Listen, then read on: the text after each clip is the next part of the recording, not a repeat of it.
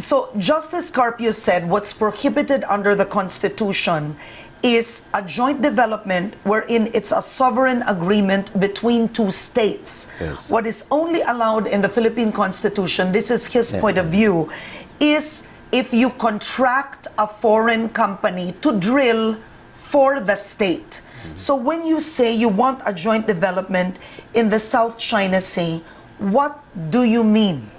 You know, Justice Carpio is correct. Okay. It's a question of how the language of the agreement is contrived, how it, it is done. I'll give you an example. In the North Sea, in the North Sea, England, Norway, Germany, they are contestants in the North Sea. Okay. You know, when I was president of the Petroleum Association, I took off from Stavanger in, Lon- in Norway Okay. with my nephew uh, Ramon San Jose Jr., my son Joey, and uh, Vivian, because they were eight years old, I left them in Stavanger.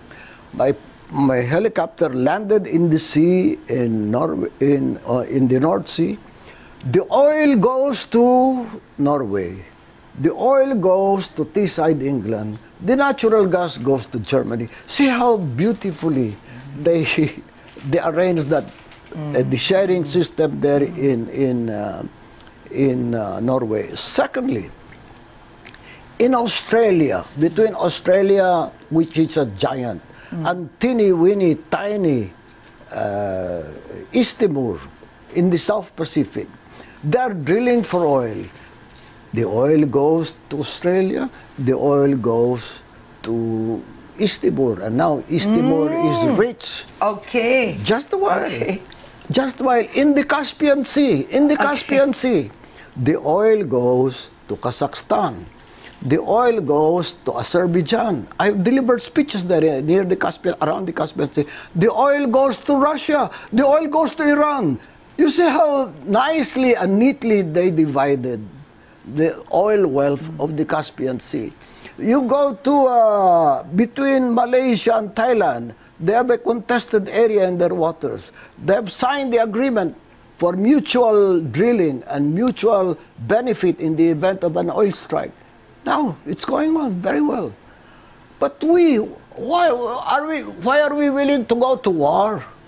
Why will China be, go, be going to war? Why will Taiwan be willing to go to war?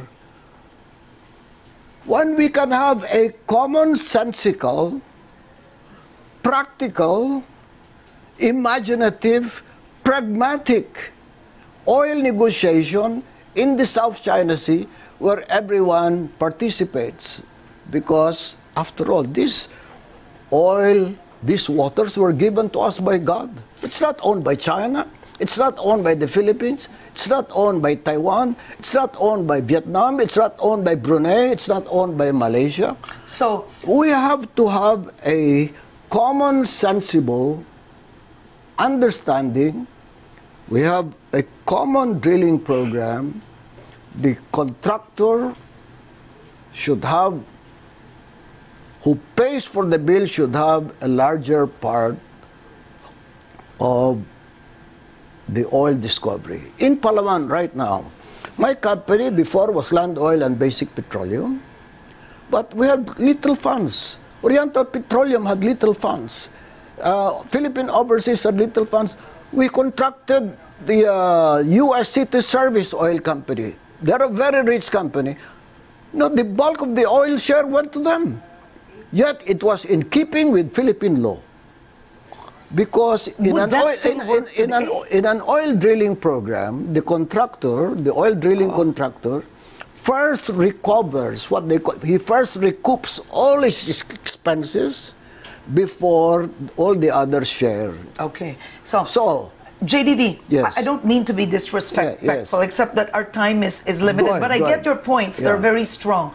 So, do you agree with President Duterte setting aside the arbitral ruling first?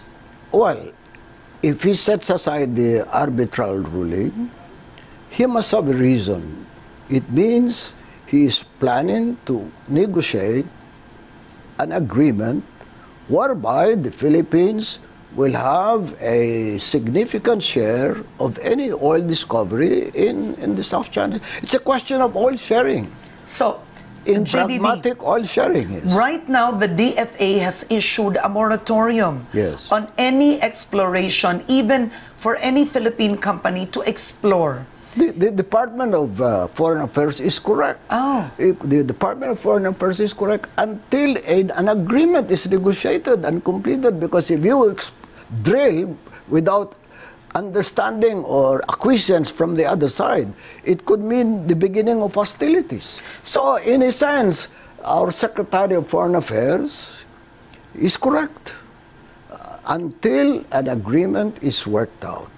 So, JDV, even if In the same way that Oh, if, if even- China, if China drills for oil there without letting us know, without informing us, and without agreement from us, then conflict can arise quickly. Okay. JDV, so what you're saying is the moratorium is correct even within our EEZ because the Hague ruling states that there is no overlapping claims with China when it comes to the Philippines exclusive economic zone. Yes. Or are you saying it's not as simple as the Hague ruling?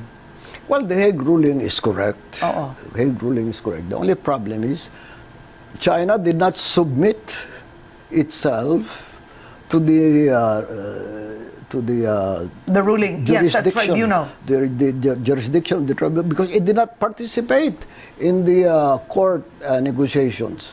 Uh, nonetheless, uh, it's correct for everyone to say that with the decision of the court, the uh, international court, if China agrees, the Philippines agrees, we can drill for oil. But the bulk of the oil share should go to the Philippines under under the uh, UN ruling, the arbitration court ruling. And the Chinese will have a minority share if the Chinese agree. Would you suggest that it's state to state or the Philippines contracting a Chinese company? Well, from a pragmatic standpoint, from a practical standpoint, from a cost standpoint, it's better to contract a Chinese company because their oil drill ship will come only from Fujian or from Hainan, and our drill ship will come only from Palawan, which is nearby.